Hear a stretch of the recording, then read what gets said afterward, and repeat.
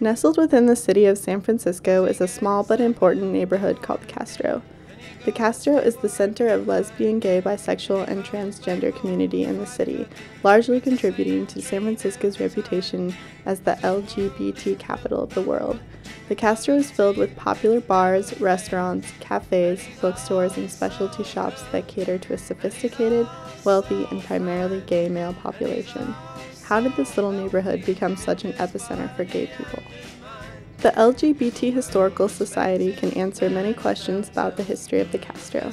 After large gay populations began residing in the Embarcadero and south of Market area, many trickled into the Castro to cultivate a more upper class gay community.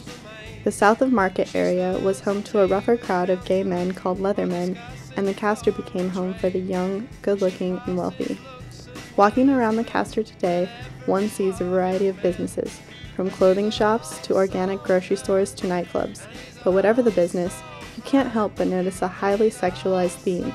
Restaurants with suggestive names, scantily clad mannequins in shop windows, and more sex shops and adult video stores than you can count fill the main drag of Castro Street. This prevalence of sex, sex, and more sex may give outsiders the impression that the gay community is oversexual, if not perverse. Is this all the gay community is concerned about? casual sex, porn DVDs, and buff men in underwear? To investigate this issue, we decided to talk to Castro locals, gay men who inhabit and embody the neighborhood. Bryce Erickson is a gay man and employee of an overtly sexual cookie shop called Hot Cookie. Hot Cookie is famous for their snug fitting red underwear, their wall of semi nude photos of men clad in Hot Cookie underwear, and their tasty penis shaped chocolate covered macaroon cookies. Bryce said that in a way, the assumption that gay males are very sexual is true. We're guys, so of course we're going to be sexual, he said. In the media, he said, we're mostly depicted as sluts. There are those people, and that's great, but we're not all like that. A man named Jeff Henderson was sitting outside of a coffee shop when we asked him how he thought the Castro and gay men in general were perceived by the public. Jeff told us that when the media covers pride marches and events in the Castro, they focus on the most outrageous people in a crowd, the most scantily clad or the men dressed in drag, they don't show the regular looking people, he said. Alonzo Marcus was enjoying a cigarette in front of a bar called Moby Dick. Alonzo is a recent transplant to the Castro, having just moved from the East Coast. He said he loves the Castro, but feels it is not a fair representation of gay men. As an African American, living in a neighborhood that exalts young, upper class Caucasians, people who don't fit that mold can be forgotten. He also said that the perception that gay men are extremely sexual is in part true, but thinks the media latches onto this too much.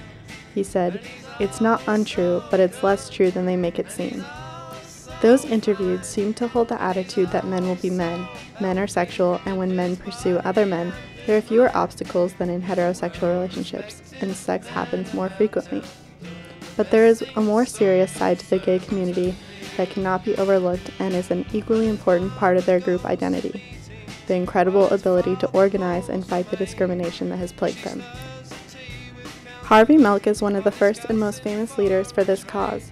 Milk was the first openly gay man to hold a public office in California when he was elected to the San Francisco Board of Supervisors in 1977. His leadership in the Castro helped bring awareness to homosexual rights in a time when gay people were highly discriminated against.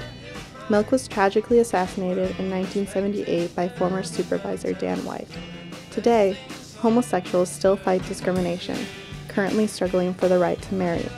California Proposition 8, which took away the right for same sex couples to marry, passed in November 2008 by a narrow majority and upset many straight and gay people around the state, but arguably no community was hit harder than the Castro.